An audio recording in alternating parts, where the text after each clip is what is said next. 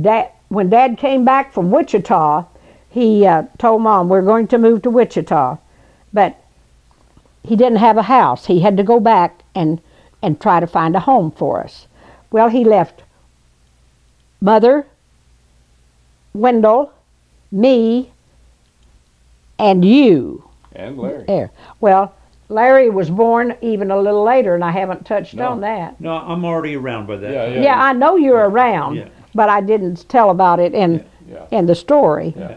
So uh, Well, Larry's around. He, he was born 43, wasn't Yeah. You had mentioned Two. about moving from the three houses. Yeah. And then did you move out north of Plumerville Yeah. to get away from the river? Ball knob. No. yes, Yeah. when yeah, when yeah, after we were flooded out those three times, Yeah. Dad went outside, which was hill country of Plumerville, Mm-hmm. and bought an old log house that had been looked like 1865, Hmm. had the the stuff in the cracks and everything, and it had three rooms on it. But with it came, I don't remember the acreage layer, 80 acres. 80 acres right right there. And evidently he had accumulated enough money to pay down on that. And we had some happy times in this old log house and it was literally a three-room house. And with us staying there. And Wendell was the oldest one home. Uh, Well, I was I was uh, 15, I think, about 15, and Wendell was about 13. And he took care of the horse and the cows, did the milking, and and we helped mother in the garden, and uh, and dad had when he bought the house he wanted to make it a fruit farm, so he bought a hundred fruit trees. But when this job offer came up in Wichita, these fruit trees had not come in. But they did come in later, and he instructed Wendell and me hmm. to plant those trees when when we when they came in, lest they die, mm-hmm. because he had ordered them from Stark Brothers, and many of you are familiar with that post that proper oh. that company. But anyway, Wendell and I planted a hundred fruit trees and made an orchard there. And Wendell was pretty. He even the daddy had instructed him how to row, row them up Huh. and they were there. And probably 60 years later, when when I made a visit, 60 years later, which was what three years ago. Well, even this summer, we didn't go out there this summer, did we? No, but past summer. But there was a few of those trees still standing, Huh. and they had said it had been a prolific fruit fruit garden. Were they all the same fruit by chance? Oh, or no, they were mixed fruit. Yeah. You know, apples, pear, peaches, pears, and plums. But uh, that old homesake now it was pretty obsolete, and I was sort of embarrassed to bring girlfriends home because, you know, it was we had a bed in the living room, and and there, you just sat outside and visited, and they did the boys and the family did come finally and build a screen porch all across the back where three beds were put. And that loosened up the other. Did the boys just sleep out there in the yeah the boys In the no no we slept all winter long. They put they put uh, can- canvas around to let down in the winter. Summer, Over the just screens? over the screen. That really make it warm, wouldn't yeah it made it much warmer. Uh-huh Juanita, we've uh, been talking about the 30s and 40s, but let's go back to the 30s again because you know you're the only one that has uh, the the history of the 30s. Uh, thinking about some of the 30s, perhaps you've uh, we've skipped some of the things and you've remembered some other things that uh, were interesting to you that you recall during the 30s. What are some of those things that you do recall now about some of the 30s since we've been talking about it? Well, what what I probably haven't mentioned was uh, the fact that we were poor. We I did mention we were poor, but we were a happy uh, family. Dad and Mom saw that we were happy. They they never I never heard them speak ill toward each other or anything like that. Our houses were simple. Everybody's house was simple, but if you had a linoleum on your rug, you were blessed. Linoleum on your floor. I mean, on your floor, Yeah, yeah. and uh, uh, uh, not not a rug, Yeah. but and it was the women's duty usually or privilege every spring to do a spring house cleaning, and they would buy these articles one at a time. Maybe fresh uh, linoleums for the kitchen, which took the most wear. And the kids loved the linoleum because it was cool in the summer. And I can remember us laying on the linoleum taking our naps. And, uh, and of course, the women would spruce up the houses as best they could, and the neighbors would help them uh, doing that. One uh, story that I left out was that when I was, I- it was, I think I had started to school, and uh, Daddy had built us a what we called a flying jenny. It was an old stump sitting out in in the side yard, and he had put a big bolt through a board like a a one by 10, 12 or something like that. It was about this thick, and bolted it in that stump and made us kids what we called a flying jenny. It was like a merry-go-round Yeah. and but it, it- we could just push it. And so I was out there. Uh, Dale was, uh, and Dale, Bill, and me were, they were pushing me around. Uh, Bill was on my side to level the weight out with Dale. Bill was my third brother. And so they were just going gee whiz, and I was hanging on like this to that thing. And Dad started his truck up in the side yard. He was fixing to go make a delivery, and he said, Dale, come and go with me and help me. Well, Dale turned that loose, and I went to the ground, kerchunk. No, Bill went to the ground, kerchunk, and bolted me off of that and broke broke this arm right in half. Huh. And well, that delayed the word wood de- delivery, and they took me to Doctor Hutchins, who was the one doctor we had, and this arm was, this part was over here, this part was over here, and Doctor Hutchins, without anything, took those and squared them up right there, and then put a, a cast of stuff on it up to here, Huh. and we're talking about a six-year-old. Hello. Uh-huh Hello. and no no anesthetic, no nothing. But it was quite hurtful. And but you were about it, six years, so you, this is about in still in the early 30s. Yeah. yes, Now, what, what was it? A compound fracture? it was a fracture, and I have a scar, a deep scar right there from where the bones worked out, Yeah. and mm. mom and dad had to attend that. That's mm. The medical problem was, I said we had lots of malaria because of the water standing, mosquitoes, and a lot of people had that. We as kids, not you and the, not you and Larry, mm-hmm. but we were kept at home and we would have measles, chicken pox, and whooping cough all in the same time because of the close communion, we, we couldn't go to school, but, but because we were in the same household, we just took one after another from the other. Mother would just put us in a bed, all of us, and take care of us that way. Hmm. And you didn't have shots. We did take typhoid shots at school. Hmm. The government made typhoid shots uh, to ward off typhoid fever. Malaria was bad enough. And I can remember Bill, this picture that you all were we were talking about last night, taking with the garden gate as a background. Yeah. Bill had malaria then, and he had it all summer, and they thought he was going to die. But if you look in that picture, you can see a very scrawny little guy at that that? time. It was, he was maybe 11. I've never I've never heard about malaria being, shall we say, rampant. Would that be Oh, it was rampant. in that part of the world because of the time? mosquitoes, Yeah, the low water, water. and then the consistency of every year it happening with with the Arkansas River. Yeah. Hmm. And of course that you know that Arkansas River still flows full today. Yeah. And You know, I when look I think of malaria, I think of jungle stuff, Yeah, Larry. sure. Well, yeah, you do. Yeah. But no, malaria was a very, and as far as I know, there wasn't a shot or anything. But as far as I know, Bill was the only one who ever got malaria during these times. Well, you mentioned something about shoes a while ago. Well, when I started to school, Mom thought I needed a new pair of shoes, and I thought it would be, uh, and I was excited. And she said, "Roy, take Juanita and get her a pair of shoes."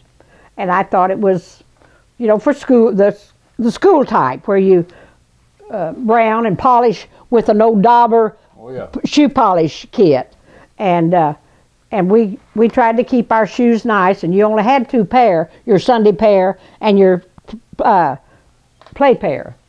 And uh, you took them off when you came home. Well, Dad took me to a general store. It was a drugstore. It was a they had cloth. They had groceries, and that was the way most of the grocery stores were.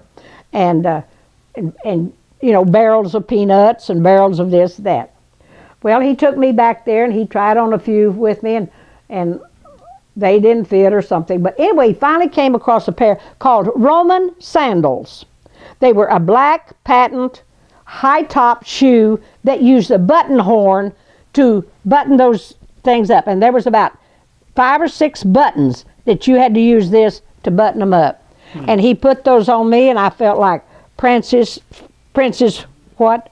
Di. Yeah. Yeah, Princess Di. Yeah, yeah. And I said, "You can you're buying these for me, Daddy?" And he said, "Well, yes." Hmm. And so I wore those shoes out of the out of the store prouder than punch. Huh. But I'm sure I took them home when I got home. But on top of that, he went to the the bar, coffee bar, the what they had with big mirrors behind them, Yeah. And bought me a Coca-Cola. Mm-mm-mm. And I had never drank a Coca-Cola Your And it- Gauche Coke. and it was in a little bottle, the old fashioned, the squeezed in waist, you know, Yeah, the little yeah, glass yeah, bottle. yeah, That's the only way they sold them. Six ounce, six ounce yeah, Coke six, bottle. yeah. All right, six- now, do you remember how old you were? I was uh, probably in, getting start go to school about six. Oh, if you were five or six, let's say. Yeah. And the reason I'm I'm trying to nail the date down, that was about 1933. Yeah. That would Because be about right. but uh, you born 27, you say? Yeah, So that was probably about 1933 when that happened. 33, Okay. 34. Yeah. yeah, Wow. yeah. Our we had a, a large yard where we had this large house, and uh, uh, on the back part of it was a large screen porch as as wide as the house was. As all, if you will go back today to England, Arkansas, you will find if you find many older houses left, and there are still lots, you will find each one of them has a back screen porch. Because that was their summer living room, like our patios, our family home, Yeah. except it was outside. I mean, exposed to the, you know, and all of them are screened to keep the mosquitoes out and the bugs. You can sit out there Yeah. with a uh, a light at night. What I'm what I'm hearing, Nita, I'm not sure that I was aware of this. That uh, um we were not the poorest family in No, England. no, You know, may, No. certainly not the richest. No. kind of middle class there. Yeah. And so, uh, so did something economically happen? You know, to to bring that down. That we were that we got a little poorer as life went on, or as you moved to Plumerville or whatever. Well, it wasn't that we were poor, but jobs became unheard of to find. Okay. with the depression wiping out the you know the stock market and all of that uh, dad was so tired and of course working against a handicap he would have been uh, you know and no longer vegetables and and uh, was supplying enough money for a growing family and so that's when he decided to uh, search out more work when we when we got out of the Portland, moved out of the Portland Bottoms to Wichita. Uh, I mean, from the hill country. Right. Right. And but uh, You said something a while ago I thought was interesting. You said that during this time, you all discovered a fruit that you had never Oh. seen before. during the Depression, we had commodities. All right? Every month, the uh, the truck would come around, or you would could, could go down and sign up for commodities. And I think that's what Dad and Mom did, Okay. because Dad would bring large boxes of of everything home. Beans, of course, they. They, we had lots of beans, and Yeah. Mother cooked a lot of beans, which was good Yeah. with ham hock, and uh, was hearty for children. But Dad would go and get get these large boxes of commodities. They would have pounds and pounds of cheese in it, good cheese, uh, coffee, sugar, flour, uh, some meat, dried canned meat, spam. Uh, I believe spam was really becoming the That's thing. a newfangled thing. At that Yeah. Yeah, that's right. Yeah. And fruit. He would bring home apples and oranges and these strange things that we'd never eaten called grapefruit. Huh. And we thought, what do you do with these? And uh, mom and dad didn't know. They hadn't been exposed to them either. Now, that sounds strange to you all, but uh, it wasn't at that time. But we were trying to eat them because we ate anything. We weren't per- persnickety about food. And, uh, but we were eating them, peeling them like an orange, and eating the bitter section. Until someone, a neighbor or something, says, Oh no, Mildred, my mom's name, cut them in half and dig out the meat with a spoon, which is what we did. We discovered that. And then dad, dad couldn't keep them on hand Yeah. with us kids. But that was our first uh, dealings with commodity. But they helped Yeah. a lot with those things that we could not raise. You know, I what- suppose a lot of people got commodities during those times. Everybody, everybody that wanted or that signed up, you had to sign your name for them. Now you said something about cheese. I have seen in antique stores these big round wooden, they're circular. things, Yeah, And yeah. I heard that cheese used to come in those things. Is that how you all got cheese? No, it was it. We didn't get. We got that kind of cheese, but it would be like Velveeta is oh, now, Okay. except five pound boxes. Oh my stars. Five pound boxes. Yeah, big boxes like that. So mother cooked a lot of macaroni and cheese and this and that, and it was good. Yeah. And that was good. One thing I mentioned that how the neighbors help each other. The children played across the street with each other. We played with the black kids just like we did the white kids, Huh. and we didn't sense any. They were just neighbors. Yeah. And mother had a a lady who helped her, and you'd think, well, if she could have help, you know, you shouldn't have been poor. Well, wasn't that at all. But the black people would would help for meals, Yeah. for any meals that you offered, and um, uh, mother had this one little lady uh, that lived behind her, and if mother needed help with when the kids got sick per se, uh, mother would spend her time tending to us, and then maybe she had a big supper to fix for dad and the boys, you know, the work boys.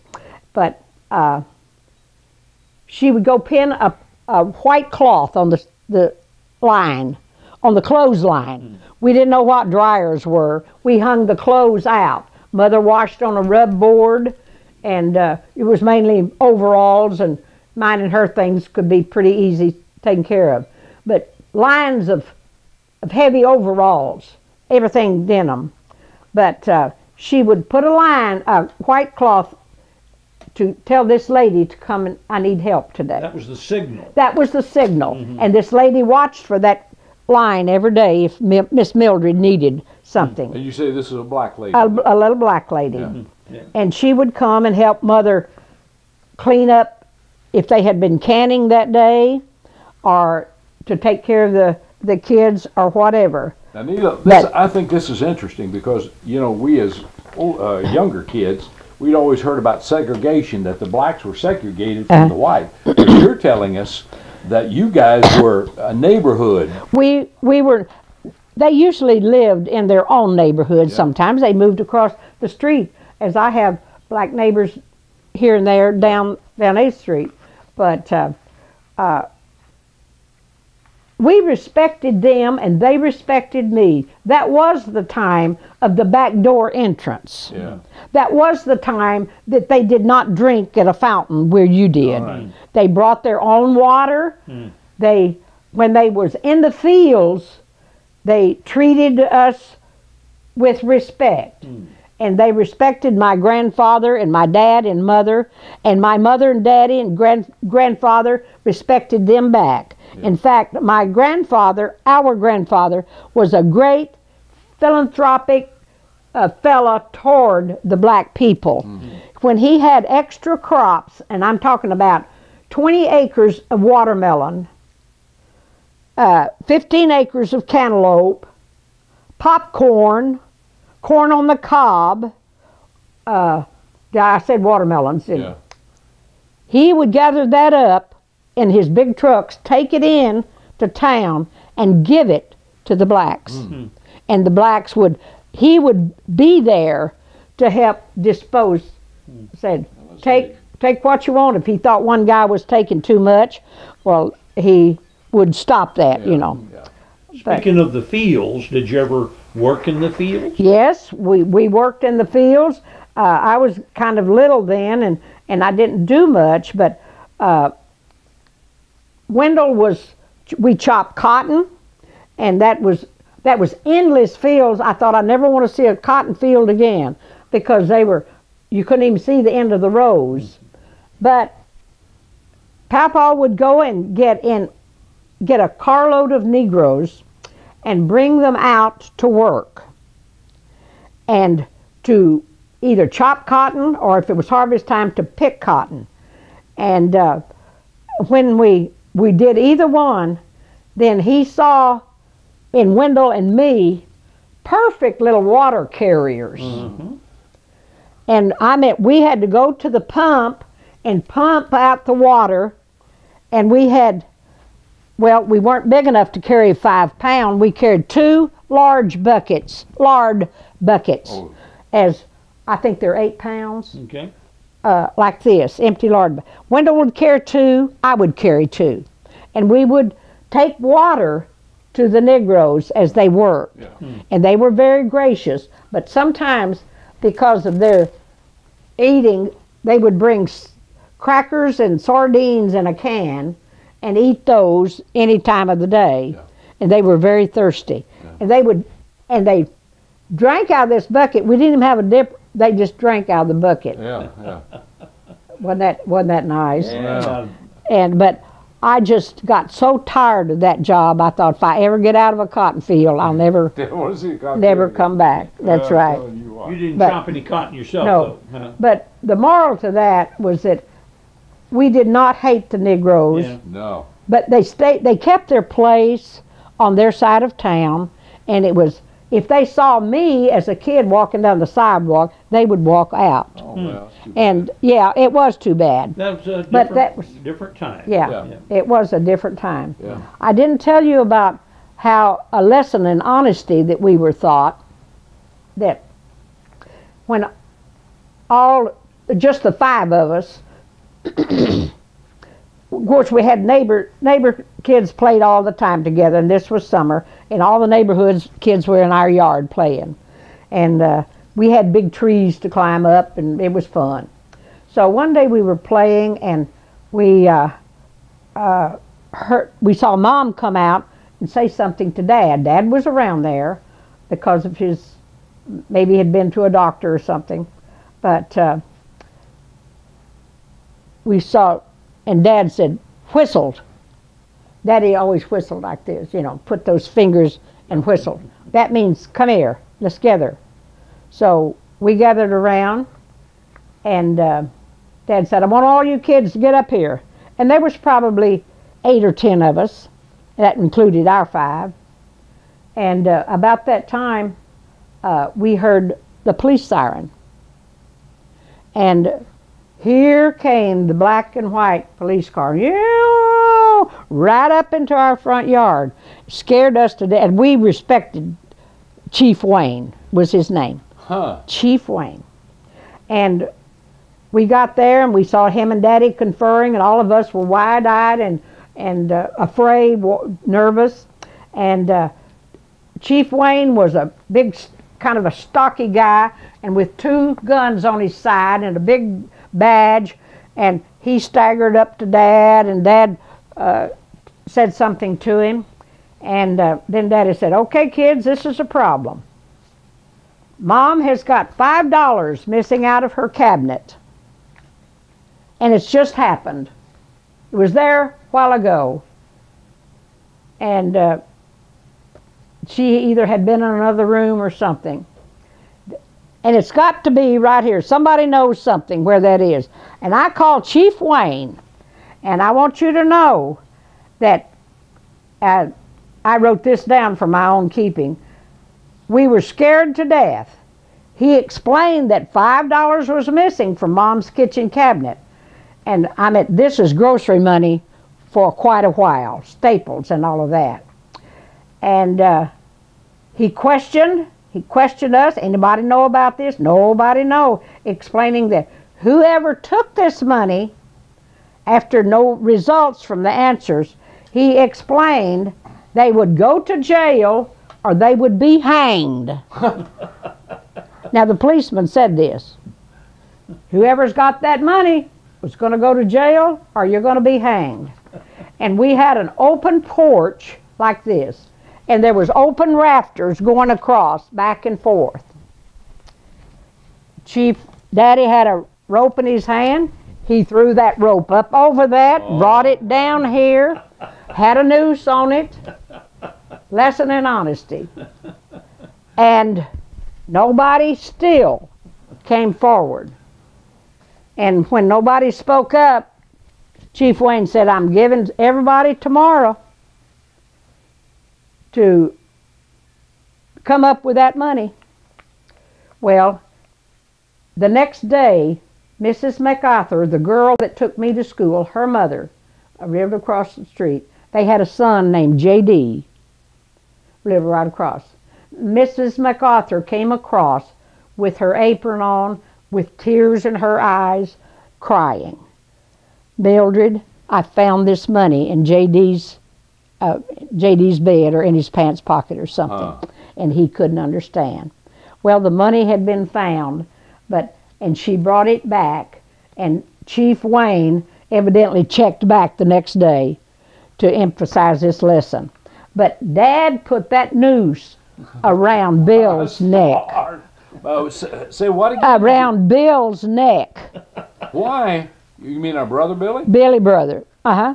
Why, why'd you put it around his neck? To emphasize this is going to be the penalty. This is serious stuff. Yeah. Oh, man. and he thought it best to put around Bill's uh, neck to Well, emphasize. explains why Billy turned out the way he did. And I said, and that's the next day word got out, and mom he gave mom the five dollars, crying that she'd found it in JD's pocket and admitted taking a lesson of honesty I will never forget. No, I was afraid not. JD grew up a troubled boy and was in and out of jail all his active life, and but the families remained friends for many years, but yet kept watch on JD. Oh, yeah.